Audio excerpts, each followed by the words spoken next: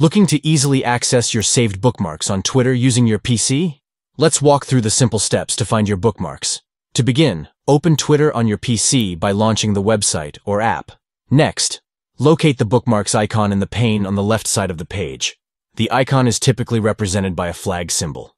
Click on this icon to access your saved bookmarks. Once you've clicked on the bookmarks icon, scroll down to view all your saved bookmarks. You'll find a list of the tweets, links, or content you've bookmarked for easy reference. By following these steps, you can effortlessly find and revisit your saved bookmarks on Twitter, ensuring you never miss out on important content or articles that you've marked for later viewing. Accessing your bookmarks on Twitter is a convenient way to keep track of content that interests you and revisit it whenever you like. Stay organized and informed by utilizing the bookmark feature on Twitter to save and access your favorite tweets and links with ease.